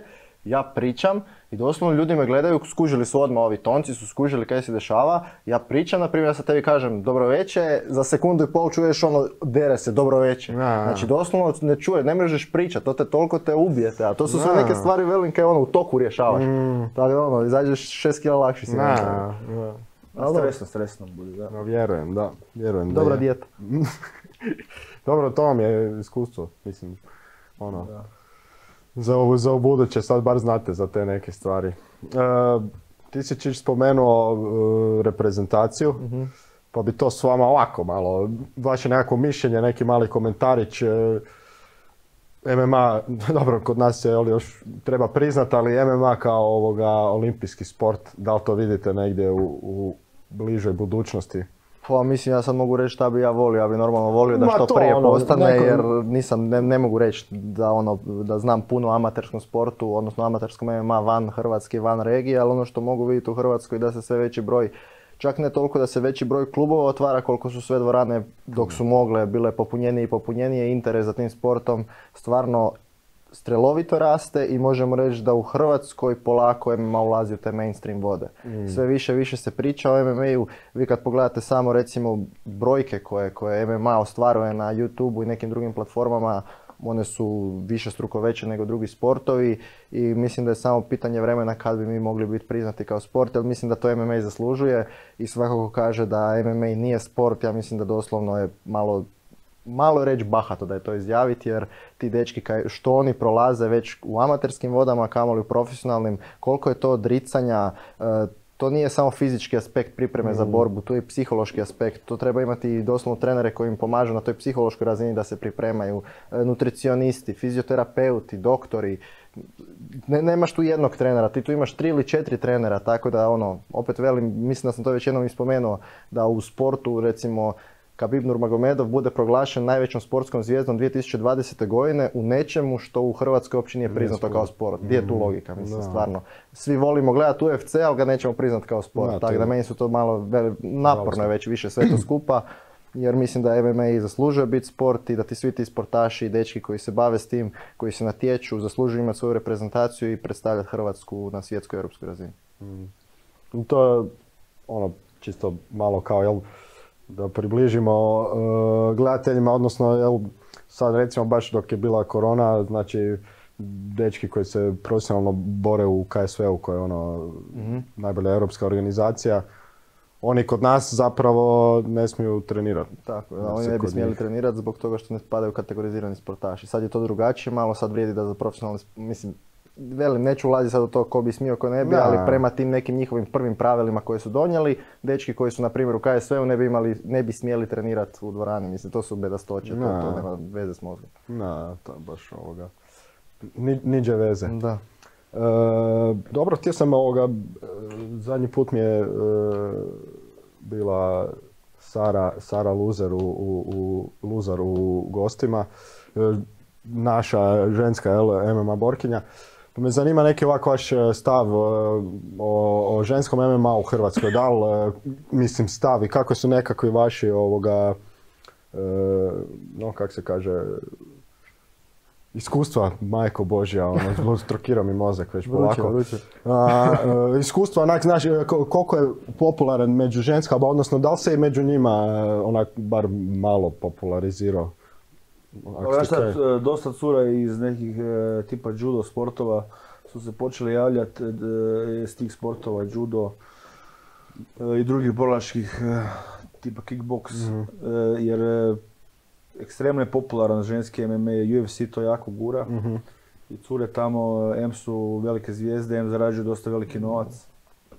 Tako da ovaj, vide i naše cure tu svoju neku šansu. Za sad se rijeđe odlučuju na neku ozbiljnu, ovaj, kako se zove, karijeru u tome. E, tako da volio bi da ih ima više jer mi se sviđa, ako se zove, sviđa mi se taj njihov mindset, dosta su agresivne, agresivne u mečevima i volim pogledati, mislim prije mi na početku sam ono, bio skeptičan, mm. ali sad su i tehnički odlične, znači ti kad gledaš one cure što su tamo rade na toj top razini, pa to je, to je zbilja vrh. I ovaj, tako da definitivno zašto ne, ako to, ako se vidi o tome, ako žele ovaj, napraviti karijeru, zašto ne, mislim da je puno je manja konkurencija i puno je lakše zapravo nekoj curi koja ima kvalitetu napraviti karijeru ozbiljnu i steći slavu i financijsku sigurnost nego, nego dečka. Mm. Da se ovoga, da dođe do te neke točke, znači da ima dovoljno, ajmo reći, natjecateljica, Vjerujem da bi i vi ovoga... Pa mislim, mi ima naravno kod nas Adriana Vuković bori na svakom eventu, ona je naša, mhm. kako se zove, borkinja i ovaj, definitivno će ona raditi e, kod nas borbe i nju vidim e, kroz neko vrijeme u većim organizacijama. Zapravo smo sad imali ponudi od KSV-a, trebali su, ali je prerano od zadnjih meča. Tako da, ovaj, definitivno mi imamo, kažem, nju i bile su još neke cure tu, ali znaš kako je to, je, ili, ili zbog posla ne mogu redovno dolaziti jer teško se u startu financirati cijelu tu priču, ovaj, mm. teško se posvetiti apsolutno sportu dok nemaš e, egzistenciju osiguranu, a nažalost, nažalost naš sport nije ko neki sport, sportovi gdje možeš ti talentiranom sportašu dati ugovor i no. ga financijski jer je to sve ogroman rizik. Mm. Ti da bi, da bi se taj ulog mogao vratiti, to moraš imati borca koji napravi karijeru na vrhunskoj razini, tako da teško, teško je u, to, u tom startu. Pa recimo najbolji primjer je sad to koliko je to teško je evo Patrik Čelić iz American Top Tima. Mislim ja mhm. govorim sigurno ima hrpa takvih slučajeva po cijeloj Hrvatskoj. Ja govorim čisto zato što dečka znam i treniram s njim Sa 16 godina je došao tu u Hrvatsku, htio se baviti MMA-om. I došao je živjeti sam tu i morao si rješavati stambeno pitanje i tak dalje, financirati kroz džeparac, raditi sa strane na baušteli da bi si mogao, ne znam, e, financirati e, što stanarinu, što klopu i tak dalje. Zato što u Hrvatskoj ne možeš biti stipendiran od strane olimpijskog odbora jer nisi priznat kao sport. A sad jedan tak, sad si, aj si se sebe stavio u tu kožu. Koliko bi tebi značilo kod dečko od 17-18 godina da ti neko riješi stambeno pitanje i dati, ne znam, par tisuća kuna mjesečno samo da imaš za pokret, ne znam, suplemente i hranu. Da. Znači to, ne, ono, stvarno to je ono, po, vjetar u leđa je norman za neke sitne novce. I ne vjerujem da on mora imati svoj stan, da ima cimera nekog, da, on samo da može da. tu stanovati, da se može baviti s onime što voli. To u nogometu, u košarci, u rukometu, u svim drugim sportovima i borilačkim isto tako koji su priznati kao sport je normalna stvar. Nažalost kod nas nije jer nismo priznati kao sport i tu je najveći problem koji se javlja kod MMA. Ali Anđele, kad bi, kad, bi, kad bi novac bio ko u nogometu, Da, onda bi ja isto bio Mamić, pa bi gurno, znaš kaže, pa da, ali ja uložim u 21 uspije, ali taj koji uspije pokrije 200, Da. a ovdje ti borac rekao uspije, 200. ovo je ti Ti si borac, u minusu teško. Da. ovo je ti borac koji ti uspije, pa šta je, i šta sad, i šta? Da. Šta Ti si sad- sret- sretan si zbog njega. ono, Ali to je ne, ono. ali i, i on kao uspio je, ali još uvijek je to lova koja je, frende moj, pa ne možeš, znaš ono, bori se za, za 20.000 eura, na primjer, što je u MMA-u već ono, bravo, i šta sad, Da. šta tamo uzme, 20% i šta, znači to ti je, šta, četiri soma, šta si napravio, znaš Da. ono, a, a ti trebaš borca recimo godinama da bi došao na tu razinu gurat. Mm, Znači borac koji se na MMA-u bori za 20.000, taj u nogometu zarađuje ja ne znam koliko miliona e, godišnje, razumiješ? Sad je da, ono. Znači, ne govorimo o Ronaldu ovom, nego o toj razini, znači kad bi ti tu paralelu povukao recimo KSV borac koji je KSV u, ono, u vrhu e, i, Zarađuje i, ko- i, ta- i takav nogometaš. Mm. Taj, takav nogometaš zarađuje stari milione, Mm. znači i naravno da je onda fora biti menadžer njemu i tako Da. dalje. A ti kad gledaš meč u UFC-u, top ono ljudi pa se bore za 80 To tisuća, htio- 100 tisuća, pa sad ti računaj kad se tu odbije porez, kad se odbije Mm. tra troškovi, bla bla bla. Pa sparing Znaš, partnere platiti, Mm. pa platiti trenere. Pa... Znači, zato ti je tu, zato ti je tu, ovaj, nažalost, još uvijek e, teška stvar. Znaš, ono, opće bude to smiješno, znaš, ono, kad neko priča o nekakvom menadžerstvu, MMA-u, mislim, da je ono. Na, Znaš, okej, na, super, mm, drago mi je zbog tebe, ali daj nema biti smiješan. Stvarno. Tu dečki budu menadžeri, ima dva, tri, četiri igrača, nogometaša u Dinamu, stari pa on je u ozbiljno ke se lovilo. mm, A ti možeš imati 40 MMA boraca i, u minusu. znaš, ono, Na, sve je to super, ok, Ma ali, jasno, razumijem, ali da. Jer ti da bi što- mogao biti pravi menadžer, šta, šta trebaš? Ti trebaš osigurati tom dečku, što je rekao Mati, moraš mu osigurati i dvoranu, i trenere, i smještaj, i hranu, i Mm. suplemente i tako dalje. Ti, ti to u MMA-u je to dosta onak još uvijek problematično. Mm. Mi imamo sad sreću, ja govorim za sve, za sport u globalu, pusti American Da, Top. Team i, i, i našu priču. Mhm. Nije meni cilj e, da ja pričam u svoje ime i šta mi možemo, ali ja pričam u, u- za, za cijelu scenu. E, teško je zato što ljudi teško dolaze do sponzora. Mm. Znači mi imamo tu sreću, mi smo sad imamo e, imamo dosta sponzora koji nam se javljaju sami i ti prepoznali su tu priču i onda mi lakše to pokrijemo. Ali još uvijek po, po, u tim manjim klubovima još uvijek dečki se bore i teško je. Znaš, niko tu ne zarađuje, ni, ni trener, niti, Da, znaš, da, da. to je sve još uvijek. Ali trebamo gurat ako, ako, ako odustanemo, onda ne, sigurno neće biti bolje. Da. Može biti samo gore. Tako da mislim da s vremenom da će ljudi prepoznati i dobro je, zato smo mi radili i one sve filmove e, prije Armageddon Show gdje su oni imali svoju priču, pa oni ljudi vide da su ti dečki koji, kažem, bore se i onda ti je i lakše neki sponzor vidi kako se zove, sad smo onaj Max Mobile, baš sam bio s njima na, na, na ručku, pa ljudi sve znaju.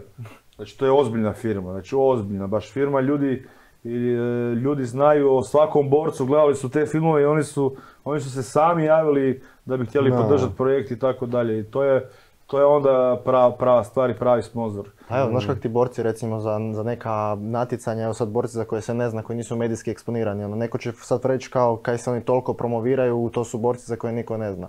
Ali ako ih mi nećemo promovirati, ako im mi nećemo davati medijski prostor, ko će im davati? Pa ti dečki trebaju nešto zaraditi, a kaj, a kaj njima preostaje šta, šta su i prije radili. Ide od prijatelja do prijatelja, poznanika do poznanika, ovaj ne znam ima kafić, ovaj ima ovakav dućan, ovaj ima ovo, jel bi mi htio pomoći, ja ću ti staviti tvoj logotip.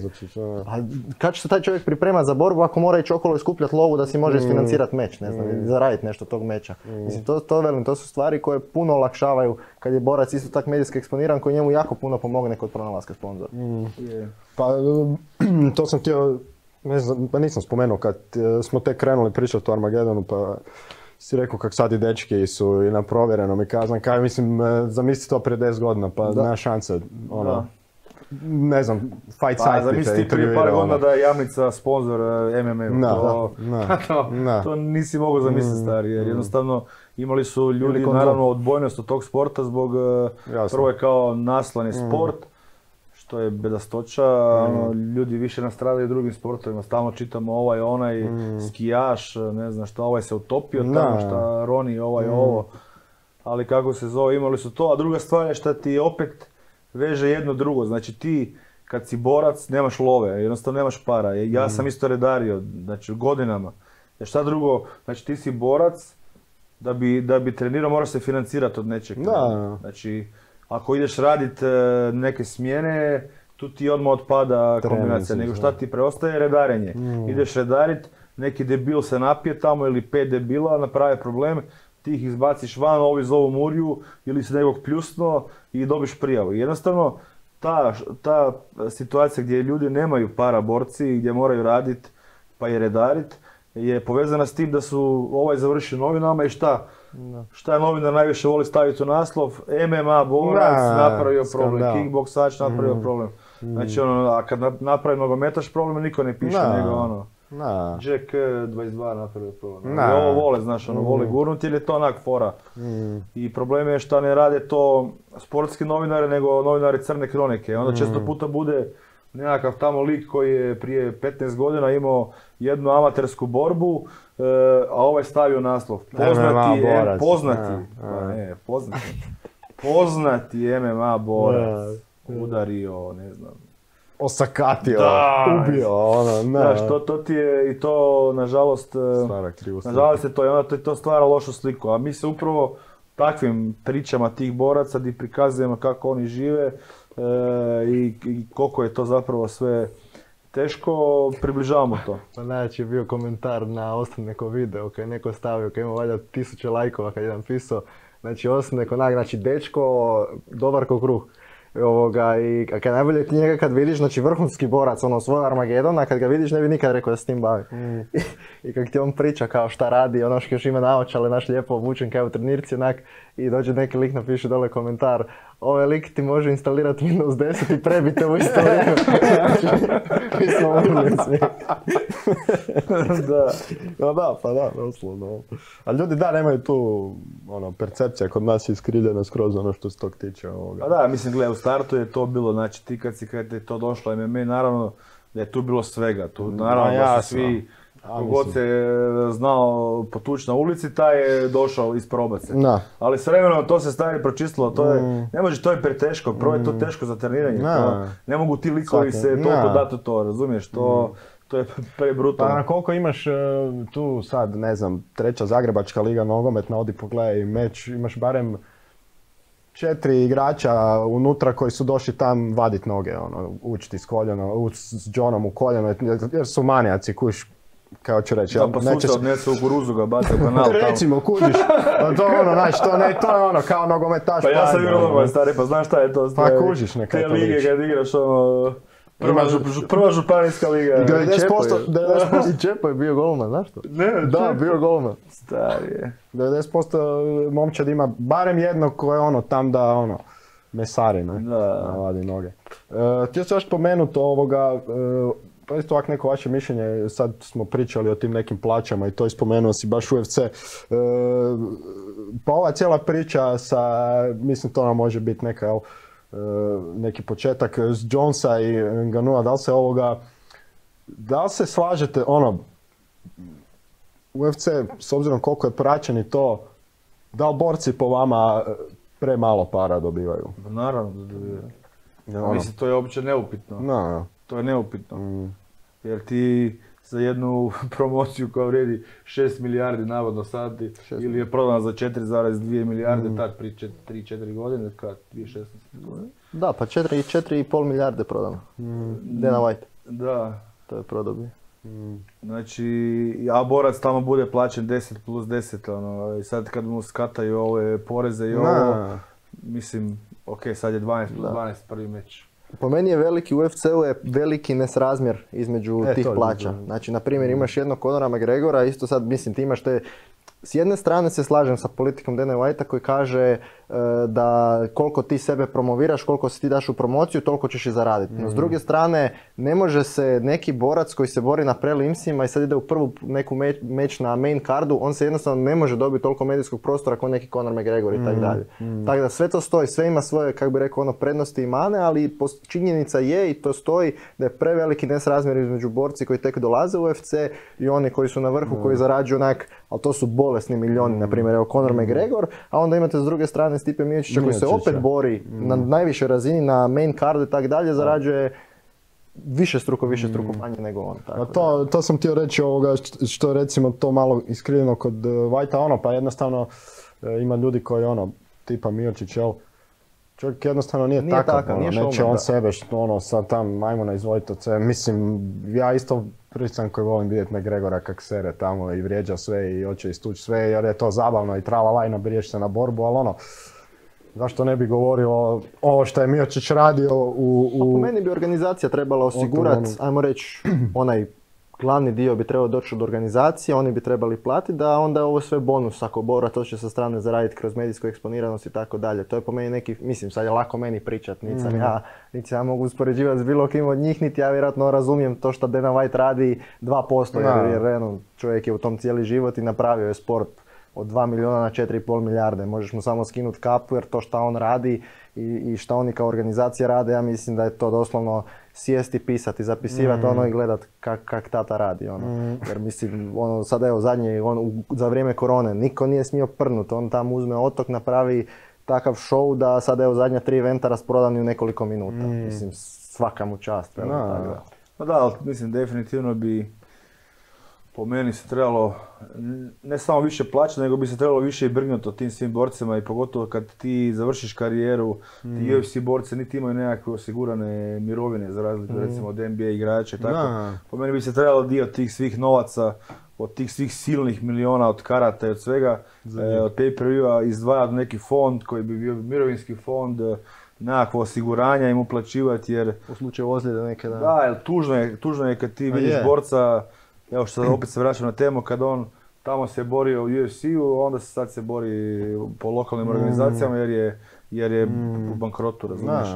Što se recimo može izbjeći takvim Mm. nekim stvarima da ti dobro, ne može to svima, ali, ali barem se o tim legendama pobrini čovječe koji su donijeli su ti doslovno Mm. desetke miliona, pobrini se da ima jebote za, za, Za za, za da, da. ne mora se ono ž- žicat okolo, znaš, ono, to je, to, to je tužno. Da. Tako da NBA to ima posloženo na, na način koliko si godina bio, koliko si zona, toliko ćeš toliko ćeš dobivati rentu doživotno, razumiješ, tako s time izbjegavaju da i najveći Da. ove legende kad Mm, prokockaju bankrot, sve i ovo da budu ono, da Na budu ulici. na ulici doslovno, da, tako da eto. Mislim da bi to trebali se oko toga pozabaviti, što je ne- nemoguće jer je, to je sad Da. vjerojatno fond, taj voli njih John za ikog, samo tablice, matematika, Da, da, da. puno se boraca sad žali da se izgubio taj, prije je to bila organizacija ko mi sad, znaš, mi Mm. smo zapravo s tim borcima e, si friend, prijatelj si, s njim si. Sad zamisli da mi narastemo na, ne- nakon nekog vremena i naravno da će ti borci Ko koji su, bili, gledaš, ono. koji su bili s nama, razumiješ, e, koji su bili s nama tipa od, od starta, tipa Čelis, taj mali Bojković, ne znam, ste, Ostanek i sad mi narastemo, veliki smo i sve je super, rade tamo, znaš, da su svi radili, ono, Mm. Čakla je Del, ovi, oni, svi su radili, dali, dali neke poslove, Fertita ovi, kad vidiš da ne, da, su- da ne znaju se sami o sebi brinut. I onda dođe, dođe novi vlasnik i to sve pomete. Znači Da. preko noći zatvaraju se uredi, ovi, oni, čisti, samo profit čisti. Mm. Da, da, da. Ko donosi lovu, taj ostaje, ovog miči. Postaješ ovo- čisti biznis. Da, da, da, roba, ono. Jednostavno je to, jednostavno je to biznis, ali to je tako, Mm. mislim, gledaj, da se mi razumijemo, svi mi moramo biti zahvalni njima da su napravili tu priču, oni su stvorili sport. Jesu. Znaš, ok, svaka čast svemu, ali UFC je čovječe, oni su napravili na globalnoj razini. Da, da. Znaš, ono, Pride je bio top, nama koji smo to pratili, Mirko je bio tamo i to, ali to je bila ta priča japanska koja se ugasila i sad zamisli da nije bilo UFC-a. Ti bi imao vjerojatno tih sitnih promocija koje ne bi to do... Jednostavno je taj Dana White, eh, čovjek je odradio, s- ja ne mogu vjerovati, znači napravio je, napravio je čudo. Napravio je čudo i šta kaže Matej, to nema šta ti njemu pričati. Ali ja bih volio, kaže da se više, više To tome, pos- da se više tome posveti. Mm, Tako da gledaj, plaća ko plaća, ti ako si vrhunski borac ti ćeš zaraditi lovu, daleko od toga, ali ono, treba s njom pametno raspolagati, pogotovo ako si u Americi, tamo par krivih koraka, Nema. Vrlo brzo si, Mm, vrlo brzo si bez ičega. No.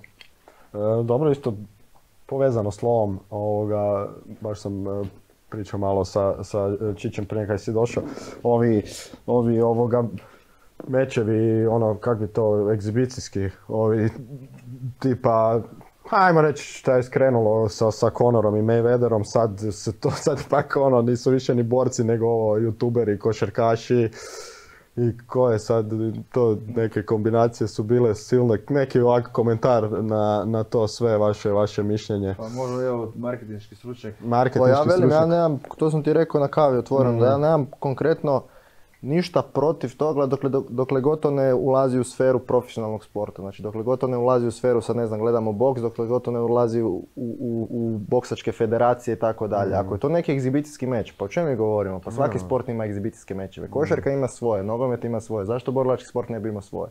To je brukanje sad, ne znam, Floyda Mayweathera. Čovjek je otvoreno izjavio ja idem u penziju. I sad dva, ti evo, stavi- stavi sebe u njegovu kožu. Neko tebi u penziji dođe neki youtuber koji tri godine boksa, znači tu jedino ko može izgubiti je Floyd Mayweather. Niko Da. zbog bloga nema kaj za izgubiti. Da. Neko ti ponudi bijesne milijone da ti odradiš egzibicijski meč. Pa zašto ne bi odradio?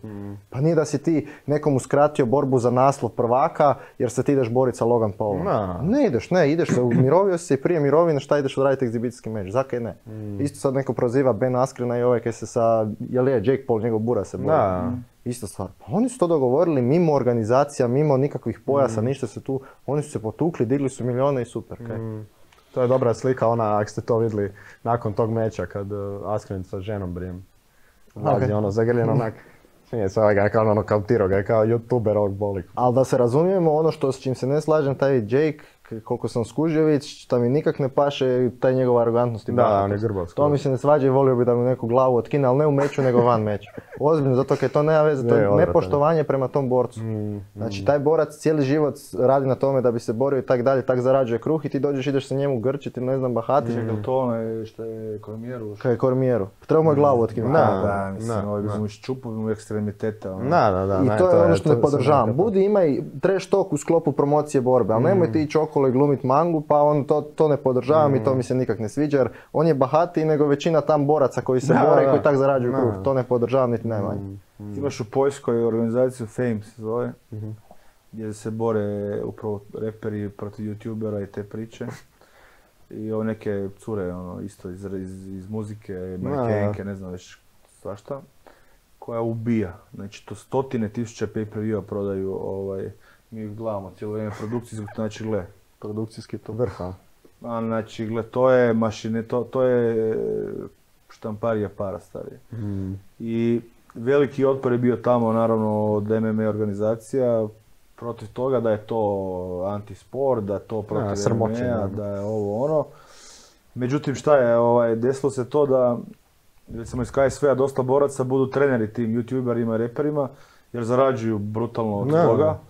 A druga stvar je ono što je, što je dobro, što su dobro rekli, je da taj fame upravo puni MMA dvorane, jer Mm. ti klinci koji to gledaju imaju, ne znam, 13, 14, 15 godina. Mm. On gleda, on gleda, Zbog youtubera. on gleda taj meč youtubera i repera, Mm. ali zapravo on kad poželi trenirat, pa neće trenirat rep niti YouTube, Da. nego će trenirat Da, MMA. da. Znaš, trenirat će borilački sport i upravo im je to napunilo dvorane strašno, e, jer je popularnost ogromna. Ne znam, presice gledaj milion ljudi, nema pojma, u live čovječe. Da. Mi gledamo to, neki intervju kao baš Martin šalje u grupu kao pogledajte ovaj intervju, znači intervju, borac neki daje ili kaj je on već, nemam pojma ni šta je, daje intervju za, za meč koji dolazi. 300 tisuća ljudi u live gleda. Znači niš, njegova glava i on priča intervju. 300 tisuća ljudi to gleda. A to su sve pratitelji, baš to kad ih prate po da, društvenim mrežama i tako dalje. I sigurno će neko od njih zbog njega doći u dvoranu i upisati Mm. MMA ili boks ili kaj god se tam radi. Tako da to je tako, super. da, da, tako da je to priča koja je definitivno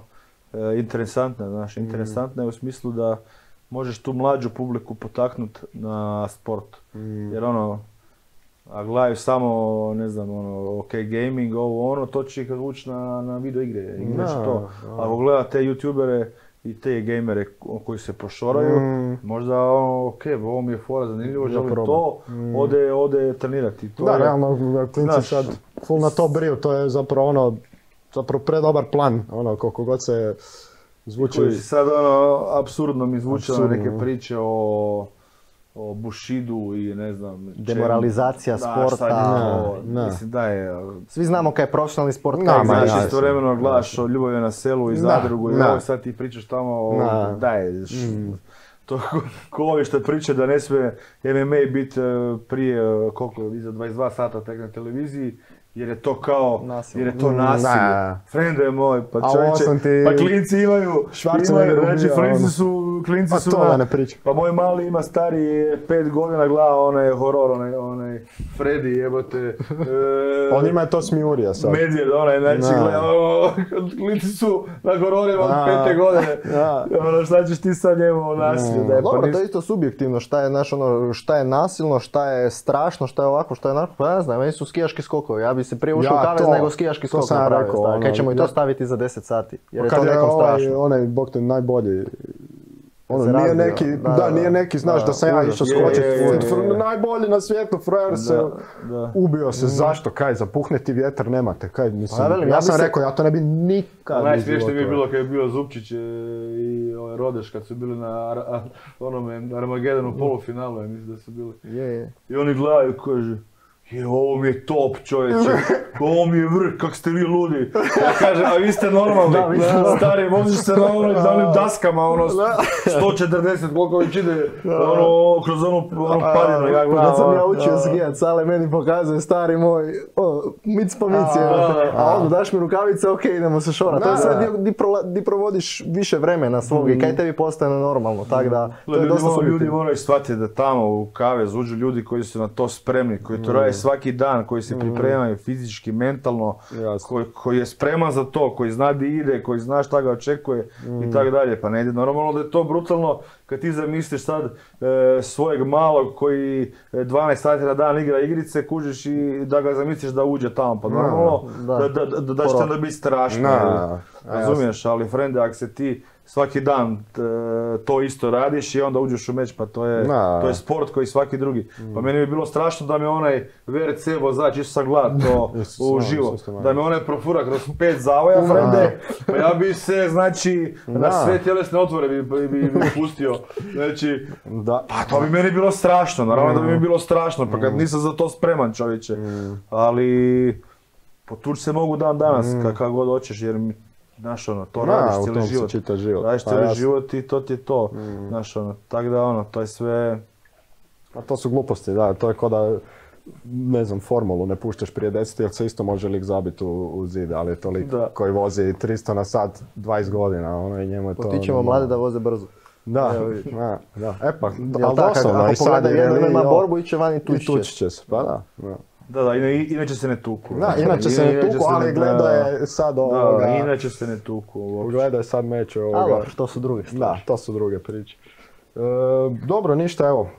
Bilo mi je drago, ovoga, imam ja još to pitanja, ali već smo ovoga, već smo se zapričali, već Koliko smo smo sve uopće? prošli ovoga. e, ništa, ja bih vam se zahvalio još jednom Samo što da ste bili. za- zbog, zbog love koliko sam, koliko sam. 10 i 20. Hoćeš imat toliko. Iskuće. Moj sat je skup. Kroz sljedeći, kroz sljedeći mjesec negdje čekate ovoga isplatu.